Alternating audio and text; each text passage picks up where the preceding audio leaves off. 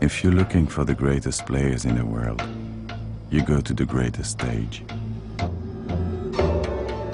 I've said he's the best. The kind of player every team needs.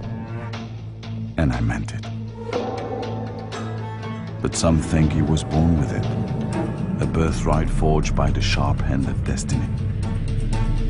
I think otherwise. This man's greatness isn't inherited. It's paid for. Night after night, shot after shot. Power coursing through him like a seismic wave. His right foot drops like a thousand hammers. A force of nature. A powerhouse who long ago discovered his gift in a place he now calls home. As a boy, he wasn't much to look at. Just another kid from Liverpool, dreaming of Barnes, Nicol, and Dalglish. A native son, yes, but nothing special until destiny forced his hand. And in the shadow of Liverpool's powerhouse, another powerhouse was born.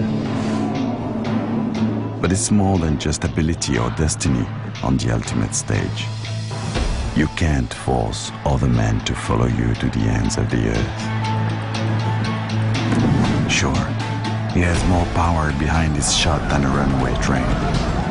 But very few players wear the band of a captain.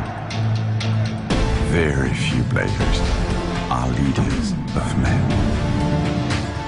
After all, there was no miracle at Istanbul.